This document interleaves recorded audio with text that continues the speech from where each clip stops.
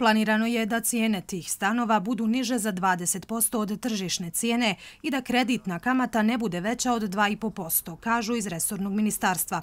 To znači da će stan čija je trenutna cijena oko 1800 maraka po kvadratu mladi moći kupiti za oko 1450 maraka po kvadratu.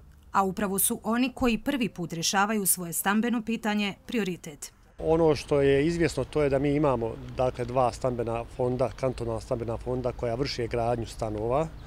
A međutim, ovom odlukom dodajemo još jednu, još jednu stvar, još jednu stavku, a to je da će, učestvovati, da će moći učestvovati i drugi investitori.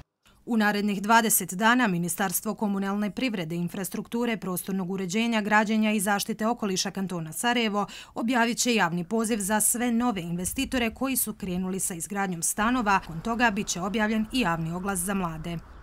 Lokacija Iliđa, odnosno izgradnja stambene zgrade koja se nalazi sa moje lijeve strane, je jedna od mogućih lokacija na koje će mladi moći aplicirati za kupovinu stana.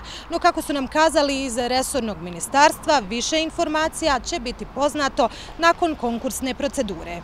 Za ova dva stambena fonda, to su lokacije Vogošća, Šip i Dobrinja, a za nove ne znamo jer ko će se sve javiti, ali ono što znamo da su jako atraktivne lokacije. Anketirani građani kažu da je najveći problem finansijska stabilnost mladih, odnosno život na kredit do kojeg je najčešće teško doći. U poticajnu stanogradnju bi, kažu, vjerovali ako svi budu imali jednaka prava. Meni je 39 godina. Nemam svoj stan. Nemam mogućnost da kupim sebi stan.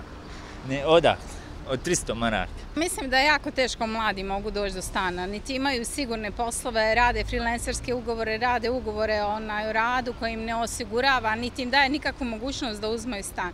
A kad uzmu, onda su doživotni robovi. Pa teško je s obzirom na situaciju generalnu u državi. Prilikom gradnje važno je da se ide u pravcu održivog razvoja, kaže profesorica Arhitektonskog fakulteta u Sarajevu Lejla Kreševljaković.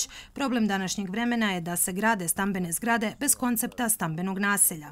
Sada se masovno grade naselja gdje vi pod pritiskom investitora koji, koji su u, u žurbi za izgradnjom što većeg broja stanova na što manjem prostoru imate velike gustine naseljenosti, a unutar stambenih jedinica ti prostori ne zadovoljavaju minimalne standarde. Posebne uslove za prijeve mladih izradit će komisija iz Resornog ministarstva. Poručuju da neće biti moguće po procedurama da neko bude vlasnik četiri ili više stanova koje će dobiti po povoljnoj cijeni. O tome će odlučivati kada zato dođe vrijeme Ured za borbu protiv korupcije i unutrašnje kontrole. Očekuje se da bi kroz ovaj projekt moglo biti osigurano oko 200 stanova za mlade.